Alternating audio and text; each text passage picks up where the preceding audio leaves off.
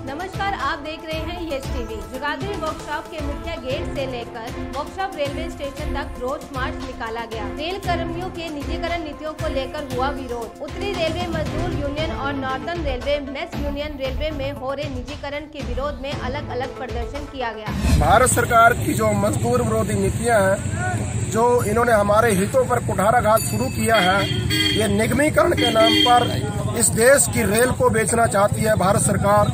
इसके लिए हमारे महामंत्री, परम आदरणीय श्री बीसी शर्मा जी जो उत्तरी रेल मजदूरों के महामंत्री हैं और एनएफआई के ज्वाइंट जनरल सेक्रेटरी हैं, उन्होंने आदेश किया अपनी समस्त ब्रांचों को, एक सौ छियासठ ब्रांचें हैं सारी नॉर्दर्न रेलवे में।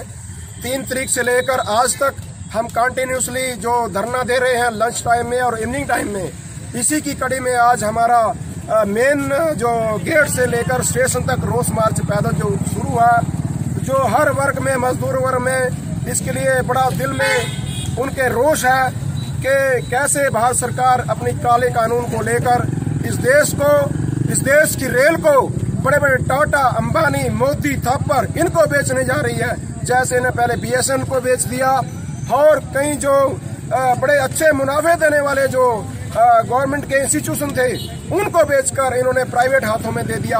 आज इस देश की रेल पर भी संकट के बादल छाए हुए हैं। हालाँकि दो तारीख को रेलवे बोर्ड में सीआरबी चेयरमैन रेलवे बोर्ड के साथ डॉक्टर एम रघवैया जी, जो जनरल सेक्रेटरी एनएफआईआर के, और परम आदरणीय बीसी शर्मा जी, उनकी जो मीटिंग हुई रेलवे बोर्ड में बट चेयरमैन रेलवे बोर्ड ने और मेंबर स्टाफ ने कोई खास सॉलिड जो आश्वासन नहीं दिया।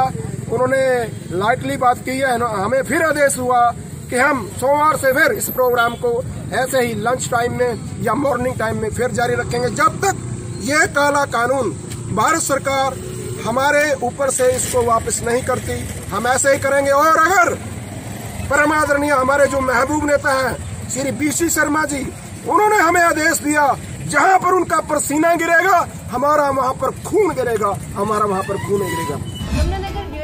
येस टीवी इसी तरह की खबरों के लिए देखते रहिए येस टीवी